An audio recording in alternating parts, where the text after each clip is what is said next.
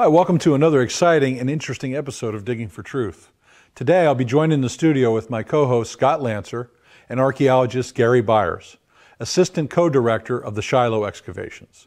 We'll be talking about the exciting discoveries we found this year in 2018 at Biblical Shiloh. We hope you enjoy this really cool and fun episode. Well, guys, we want to talk about Shiloh 2018, and we had a well, we had a phenomenal uh, dig season last year. We want to talk about all things Shiloh today. So let's jump right in on that. And so, Gary, uh, maybe you could introduce us to uh, why it's important there, why we dig there, and just kind of jump right into the subject. Well, uh, ABR, the Associates for Biblical Research, has been uh, doing archaeological work in the Holy Land and basically in the West Bank area, in the mountains, those central mountains, uh, for 40, over 40 years. And uh, we've been looking for the, the, the, evidence of the biblical cities. And we spent most of our time at Khirbet Nisya and at Khirbet El Maqatir. And those two, those two sites uh, where, where we think, where we looked for the ancient city of Ai, and we think maybe we found Ai at Khirbet El Maqatir. So um, uh, that's, that was really important to us. And then we were invited to go up, up the, the mountains uh, to the north, about another 10 miles past uh, Maqatir, to, to Shiloh. Shiloh, the story of, of, of Eli and, uh, and Hannah and Samuel. Shiloh get to dig at Shiloh. And the Are tabernacle. you kidding me? And the Ark of the Covenant. Man. No, we didn't find the Ark of the Covenant. No, no, yeah, But it was there. It was there, and uh, it was there. And so when when that opportunity came up, um, and we really were at the place where we were ready to close down at, at and so it really was just a wonderful opportunity uh, to go there and work, and we worked directly uh, with the Israeli uh, de, uh, uh, Department of Antiquities is in Jordan, where I, where I, the other dig, where we'll talk about in a while.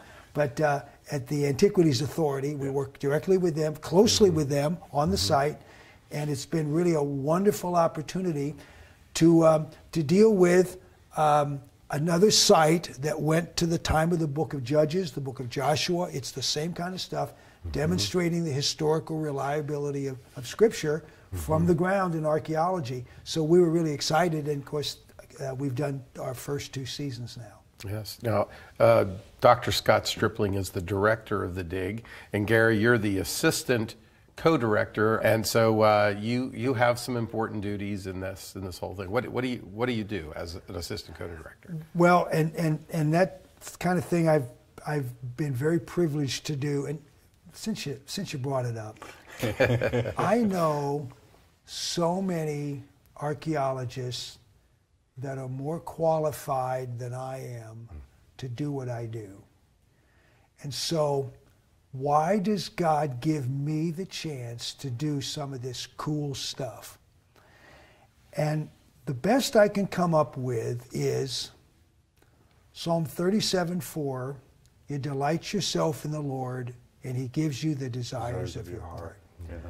You know, I am not the best, I'm not the most worthy, but I've been given this privilege, and I am so grateful, and I want to do the absolute bestest I can because this is a wonderful privilege to be given this opportunity. So, uh, from from my role, sometimes I, I'm supervising a square and, and leading a particular five by five meter square, like all the other squares.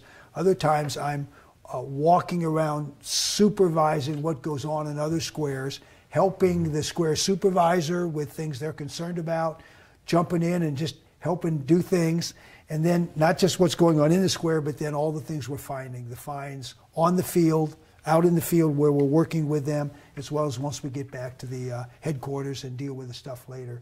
So it's just a, it's um, it's a, a wonderful privilege and a labor of love to work with some wonderful people that we've got on our dig teams, Yes. talented, capable people, and uh, to, to, f- to be finding the coolest stuff in the world. Yes. And I get to do it Yeah. at Shiloh. That's pretty awesome. And we should mention Henry is the dig administrator, And uh, you know, it, it's a team effort, though, isn't it? Yes, it's, it sure it's is. Everyone Yeah. out in the field. It's those back here. Uh, well, back here, but we're we're here in Pennsylvania. Our offices are here in Pennsylvania, and we have a wonderful office staff, and all of us working together to make this dig a success. So it's a really really awesome thing. Um, we could mention a lot of people on our team, though. I, we should always mention Dr. Bryant Wood. He's the head of research. Uh, we mentioned Scott as the dig director. Maybe we could talk, just uh, mention a couple of the other staff members and give them a shout out here today. Yeah, well, we have uh, we have professors from eleven different universities, and some even more than one from from those different universities that support us.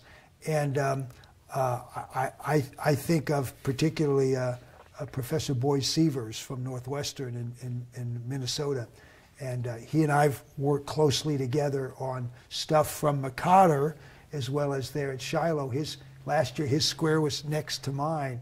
And so he, uh, He had to work next to you? he, it was a it was a labor guy. of love on his part. and then uh, Dr. Mark Hassler uh, from I can't think the school in Beach. Virginia Beach, Yeah. and uh, and he's just done a, a lot of work. And and Mm-hmm. uh, uh, Dr. Brian Peterson from Lee University brings a boatload of students every year. Yes. And it's just a really exciting group of, of capable uh, people who love God, who do good archaeology, and uh, do the research and the publication afterwards. It's really important. We have a wonderful, uh, wonderful dig team, and there's always room for more. That's right. Yeah, that's right. This last year, uh, about 200 different people were on our dig team, which made us, for two years in a row, just about the largest dig in Israel. Uh, they came from 30 different states of, of, of, of our 50 and um, from uh, four different countries. And uh, we just had a, a great group of people, but there's always room for more. That's right. And so if somebody out there wants to join us, we'd love for him to talk to the administrative director. that's he me. will sign you up. I will sign you up. So, folks watching the show, we, we can say that you can join us, and you can come and, and and dig in the ground in Israel, and perhaps uh, be part of uh, particular discoveries.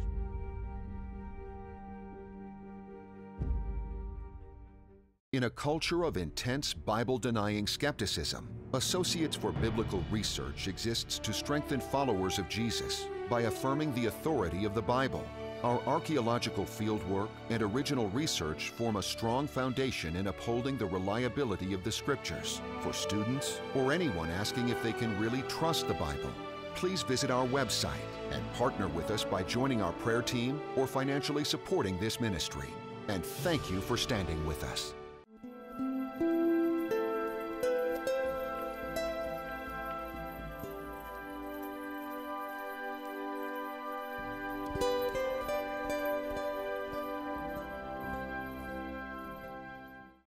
Thank you for watching Digging for Truth. I'm your co host, Henry Smith. We've been talking about the exciting discoveries at Biblical Shiloh. You must be wondering could I go to Israel and dig in the land? And the answer is yes. We'd love for you to visit our website, digshiloh.org, to find out more. And now we hope you enjoy segment two of this episode about Biblical Shiloh. We're going to talk, to, talk about discoveries from 2018. Uh, why don't you start with the Egyptian scarabs that we found? Okay. 'Cause They're really cool, and people just love hearing about Egypt. So have at it. So, um, scarab is the Latin word for Beetle. Beetle. a beetle. I think it's French, isn't it? Uh, well, the French got it from the Latin. oh, see, I didn't know that. See, I should never correct the archaeologist. Stay tuned. All right. So, uh, so a scarab is, is a beetle, and um, and so what the ancient Egyptians did, they revered the beetle. In fact, it's called a dung beetle. Um, beetles that would actually um, uh, come out of uh, out of dung and roll little balls of dirt and dung around. And I, I've actually seen them do it in the desert. I've seen beetles roll these little balls of stuff in the desert, and the Egyptians were fascinated with it. And they kind of got the idea that it was um, like that. There's a great big beetle in the sky rolling the sun across the uh, the sky, and so uh, they they had this this idea that these guys were, were kind of sacred and special. So they would make their seals. Um, uh, kings, uh, important people had a seal, and, and they would make their seals uh, out, of, out of stone, and the, uh, the bottom of, of the seal, the bottom would be flat, and they would have carved in there whatever they wanted. And the Egyptians, if it was a pharaoh, had, had his cartouche, and whatever your symbols uh, were, mm-hmm. whatever message you wanted to represent you. And then the top, they would always make it look like one of these beetles. Beetle, yeah. And so yeah. we began to call these when they were found. They were just we referred to them as, as scarabs, and um, uh, your, your seal was on the bottom, and so you would you would uh, in, in, now in Robin Hood's day, the seal in Robin Hood's day, they took wet, they took wax, mm. hot wax, and they would dip it in that. In the Bible world, they weren't using hot wax, didn't know to do that but what they were using was wet clay. So you take a, roll up a scroll, uh, uh, uh, put this wet clay, dab of wet clay right where you wanted it, seal it with your, with your seal, with your scarab, and then that would seal the document, and woe be unto the person that broke that, seal, broke seal before yeah. they, they should have. Yeah. And so they would seal all kinds of, uh, uh, uh, identify all kinds of things with, with their seal. So these seals, um, you can, we're able to, based on the symbolism on the, on the seal side, you can put them in the time periods. Sometimes there's a pharaoh, cartou- pharaoh's cartouche, then you know who the pharaoh was and right. you know that mm-hmm. time period. But others, there's just certain um, uh, symbols that were used over and over again during certain periods. And so our, our seals were all Egyptian seals, um, all of them from um, well, we had we had I, we had one from Tutmosis III, who maybe is the Pharaoh of the Exodus or not, mm-hmm. and and so these could have been in the in the Holy Land at the time of that person. Certainly wouldn't have been before, but at the time or after. Yes. And maybe it was carried by somebody, an official person representing mm-hmm. the Pharaoh, or maybe somebody found it and it was, you know, it was just a, an heirloom that you held on to. But we had six of these, a bunch of them found right in the ground. You recognized it as you're finding them, and others were found as we sifted the dirt afterwards. And of course, we have two sifts a, a, a dry sift, but you can't always see it because it's caked in mud. And then mm-hmm. we have mm-hmm. this really special thing called a wet sift, where when you, when you uh, uh, wash all the mud off, the stuff you can find coins and seals. And over the years, archaeologists who have most have not been able to wet sift, they've probably thrown a lot of stuff away and not known it. So we have the benefit of, of using the wet, the water, to mm-hmm. discover things that would have been lost. And at Khirbet el Maqatir, there was no water. Yeah, to we do couldn't. Such we couldn't thing. do it there. Yeah. Being at Shiloh, uh, with the the, um, uh, the the kibbutz right there, the, the, we have the ability to have water and we've taken advantage of it, and we are finding things that, that we never would have found in our, we didn't find, we did not find in our dry sift, but we sent it down there, and lo and yeah. behold, and it has just been wonderful. And part of that was, now this, the scarab is, is, is the seal itself, but the seal impression on the clay, we found one of those in that wet sift. Mm-hmm. And so for the first time, we not only have seals. We didn't have that seal. That, that particular seal, we didn't have that seal, but we've got. We found an impression. We got the impression of another scarab that would, that would have been. It was, yeah. it was really spectacular. Cool. Yeah, and, and these scarabs uh, can be used for dating right? And that's part of the value of them, right? Yes, absolutely. it may be relative dating to, to some extent, yes. but but it, they're important. Absolutely. So when people hear that, it's, it's not that we just found something that looks cool Absolutely. and it has artistic features to it. Although that's all true too. That's yeah, that's all. People love all that, but yeah, the dating also help important. us with the dating, yeah. and it, that that all fits in well with our our work there at Shiloh. And that's the part the archaeologists love because it really right. helps them date what's going on. Yes, yes.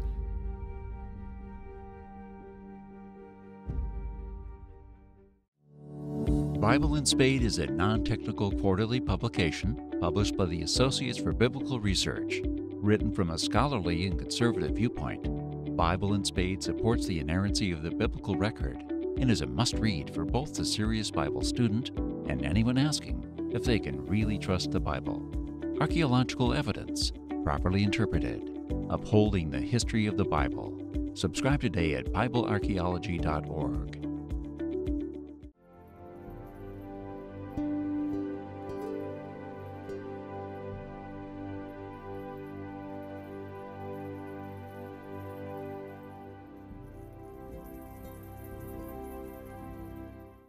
Hi, welcome back to Digging for Truth. I'm your co host, Henry Smith. In a previous segment and in this episode today, we've been talking about exciting discoveries from biblical Shiloh. We hope you've enjoyed our discussion so far with Gary Byers and my co host, Scott Lanser. We'll be picking up more of our conversation in this next segment. Stay with us, and we hope you enjoy it. Well, I guess another uh, important find, probably the most important find thus far, would, was the ceramic pomegranate. And so maybe we should talk about Yes, uh, that today uh, because that really uh, stands out among all the other discoveries so far, I think. Yes, yes. It, it really it, it has fueled the imagination of people all over the world who are hearing about this. They, they know the story of Shiloh and the tabernacle and, and Eli the priest and Samuel the priest. And when they hear of a, of a ceramic pomegranate, now maybe they don't think about it at first, but once they hear about it and realize what it was, boy, does that fire everybody's imagination. So, um, uh, on the priestly garment, around the high priest special garment uh, that he wore just for special occasions, uh, there were linen pomegranates and, and bells around the bottom of his garment. And now these pomegranates were made of, of linen. Uh, don't know how big they were, but uh, about the size of, of our ceramic pomegranate, probably. And so um, they were also uh, uh, symbols that were used in the temple. And so they, they were well known and used, understood to be associated with the Israelite religious activities, and, and mentioned in the Bible frequently. And so when you find a, a ceramic pomegranate at Shiloh, it just fuels your, your imagination. Well, the Bible said it was the tabernacle was at Shiloh, and now you've got a ceramic pomegranate. That's just evidence that that's what was going on there. Yeah. And then it helps you to think maybe we could find the site of the tabernacle. It, we- we're, uh, I, I can't remember this, so Gary, so, so correct me. Were, were pomegranates also uh, attached to the, the um, cloth of the tabernacle or only the priestly garments? Yeah, priestly garments, and then the temple Structure. Yeah, The- yeah, the the, structure. temple structure. Yes. Yeah, okay. Yeah, but not the tabernacle. Not the tabernacle, okay. So, so these, this pomegranate uh, is, is a fruit. Pomegranate's Yes. a fruit. Um, and so we find this uh, in the ground. We read in the biblical text the importance of the pomegranate. Description, I think, in Exodus, actually, right? Exodus 21 or 22, yeah, and right? Is else- that- yeah, and elsewhere, yes. And elsewhere. So, I mean, the buzz that this created on the site this year was, was quite extraordinary. And uh, in the program here, we'll show the picture of the pomegranate. We're allowed to show it now. Yeah, yeah. The boss has given us permission to show it, so our audience will be able to see it. Um, so, you know, just talk about that a little bit more because I can remember the sort of the buzz going on. That's what happens at the digs. Everybody gets really excited about it.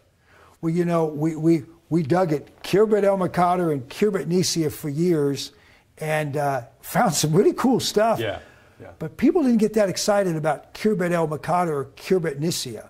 But you talk about Shiloh and their ears already are perked up. Yeah. And then you find something related to the tabernacle, the high priest at Shiloh, and it was it it uh, it, it just everybody was so excited on our team. Every guest and visitor that came in, scholars and just regular old people. Boy, did they take notice when we when we talked about that. Any little hint that got out there, other people really took it and ran with it. In some kind, and sometimes in places we didn't think they should be going. Yeah. as- Yeah. making connections that we didn't want to make. But Yeah. it was it's been it's been a wonderful find and just fuels us for this coming season. So these people that are sitting out here listening, they really ought to come and help us find the next pomegranate and who knows what else. And you, know, you never know. You never know what you're going to find. It, it might just quickly, it might be good just to connect for people that you know, they're going to say, well, what was this thing used for? Well, in, in centers of, we call it a cultic center, Yes, cult. you might enter a room where there might be uh, maybe a tree of life or something like that, where you might hang these pomegranates there. Maybe we'll discover some other uh, parts of the, the whole thing that, that is connected with Yes. this pomegranate. Yes, yes. Could be an incense altar or, or just all kind all kinds of things that it could have been related to. It, it, it has a little hook thing at the top. It looks like that you can hang from. And it turns out that when we went back and looked at some of the earlier excavations, uh, there was actually a part of one found earlier, and they had no idea what it was because they didn't have as much as we had. They couldn't see the whole image. But so there's actually an earlier one, and we've actually got some pictures of it from uh, where it was found. Um, from the from the from the rec- records, and even went to the museum and saw it over there. Where That was from the 1920s. They thought it was a different object. Yeah. And we went back and found it. This is part of archaeology, is what we call museum archaeology, or or doing research is a big component of what, what Yeah. we have to do. And so, uh, yeah, it's very it's very exciting. It's clearly clearly uh, connected in some way to the. We don't know exactly, but the fact that this was a worship center, animal sacrifice, cult, what we call cultic, uh, just just an extraordinary find that fits obviously the context, right place, right time, as you always say. Yeah. Yeah. Yep. Yeah, and we're trying to help uh, our, our audience watching today. We want them to connect the fact that we are finding these awesome things that show them, hey, this is this is an affirmation of what we read in the Bible. Uh, and of course, we have detractors who say, well, those, these accounts never happened, these things never occurred. And we're saying, no, there's some good evidence here in the ground that supports the Bible. And, and we want people to have confidence in the Word. Um, let's talk a little bit about uh, the glacis. And uh, now, people don't use the word glacis in daily speech, so maybe It's we French, should. Henry. I know it's French. Yeah, I got that one right. It is indeed, but a glacis. We find them in various. Uh, we find them at one in Jericho. You find them in these important sites in Israel, but we found it also a really extraordinary one at Shiloh. But we better let everybody know what what it is. Yeah, what is that, All Gary? right. Well, uh, you, you, you, you build a city up on a, on a hill. Uh, you want it to be a, on a hill for defensive purposes, but you, of course you want it on a hill somewhere close to water, so you can't get too high up on a hill, but high enough.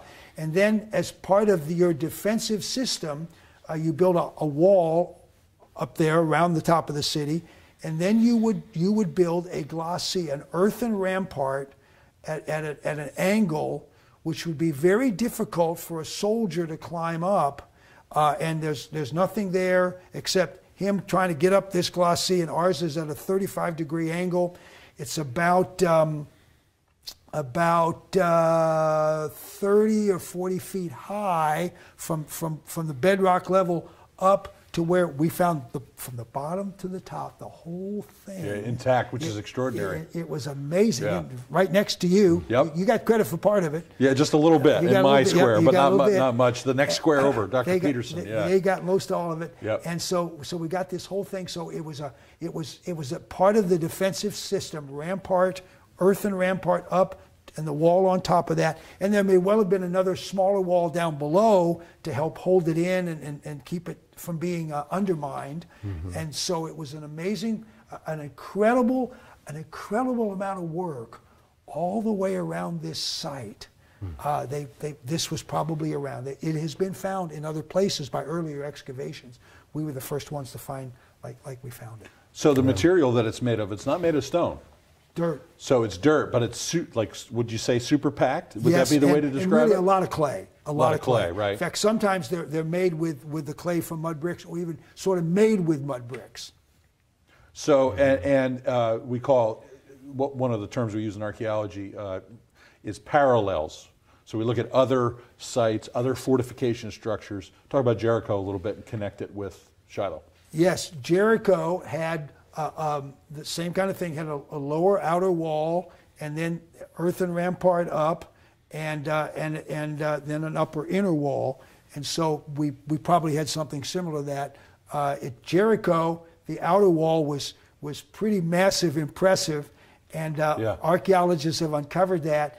And and mud bricks from the houses and glacis and stuff that fell over and looks like the Israelite army, just like the Bible says, every man went straight up into the city, climbing up this debris when the wall fell down, climbing up this debris uh, into the up into the city, and and it's amazing. Uh, uh, God God used all of that uh, to do a great work. Used a glacis and other stuff to help do yeah. a great work.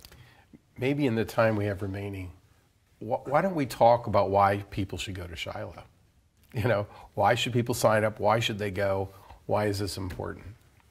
Well, the uh, the site is really really an attractive place. They've got a, a beautiful visitor center. They've they've got they've done a, made a, a wonderful place. there's a, there's a snack bar uh, with, with great stuff that we always stop and get Ice after cream. the dig. Every day after the dig. Come to Israel, have ice cream. Yeah, that's right, and good ice cream. and so it's it's set up really nice. They, they really take tourists well, uh, and then and then because it's connected to the to the um, to the community right there, we have we have access to resources that are wonderful, like the water, uh, like we put up our tents and we can leave them up uh, as opposed to, to schlepping our stuff up and down the hill from every other site I've ever been to. You can leave it all up because it's fenced and guarded. Yeah. And we, it's a, it's a just a wonderful setup. Most of the time we have either porta potties or you go behind a bush. Uh, at most sites, and here at Shiloh, we got real bathrooms. We got do. real bathrooms. Awesome. bathroom. So if you want to come to Israel, you get to have a real bathroom, but you really get to experience the experience of digging at Shiloh in the Holy Land. We hope people that are watching will be willing to come and join us. Absolutely.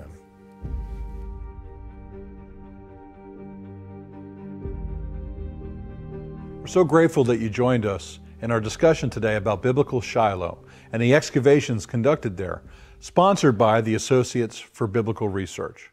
We hope that you've been edified and lifted up by these powerful evidences that show the reliability of the biblical accounts.